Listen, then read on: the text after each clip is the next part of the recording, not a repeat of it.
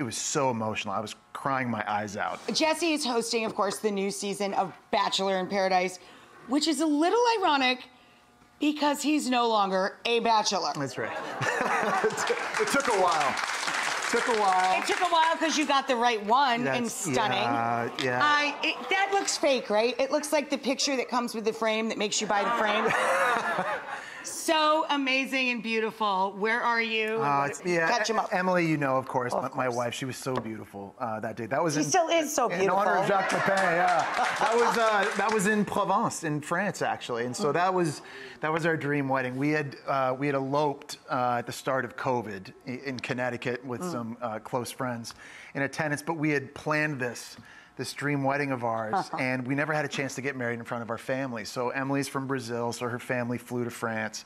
Uh, my family fr- flew in as well. We It's had like this a gorgeous chateau. Yeah. Emely was just radiant. It was so emotional. I was crying my eyes out the entire time. She was she was absolutely um, just a goddess. Just just it was beautiful. and so yeah, so we, so I've gotten really good at marrying the same woman over and over and over. right. That's right. That's right. But you finally got it right for, the whole family, and so many folks had to do that. I would imagine there's a ton of folks that are getting, you know, remarried or Yeah. married for the groups because it was like two and a half years where people just couldn't. And some people couldn't do it in front of their loved ones. That to me was the most special thing, for sure. You need that moment, Yeah, right? that's right. Because you're you're you're marrying the families yeah, too. and just all the love that's there, and Yeah. you know, and also, you know, it- getting married at this time, it's you're celebrating so many things: the marriage, the love in the families, and also just life. Yeah. You know, just, Just all the coming back to craziness life, and everything really, that we for all of us. everyone's had to go through and is going through and experiencing. It was just an overall great celebration for us all to be together. So that was really Don't make us cry.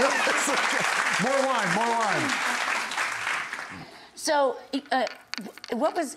Did Emely tell you what her favorite moment or part of that whole process was? I think it was it was her father walking Aw, her down the aisle. walking there, her was this down the aisle French garden, and she sort of went Right. through. And then it's funny. My brother was the efficient and so he's sitting there, and then Oh, shush! I saw Emely, and I started crying, and my brother was looking at me, and then he started crying. Cheetah crying, yeah. And then his wife started crying, and then my mom and dad started crying, and it was like this, like this snowball of tears, just like you know, in France. It was amazing. I know, um, but it was, it, you know. Why was Emely the one? Tell everybody that. Emely gives me space to be me, Aw. and she accepts me for for all the terrible things that I am.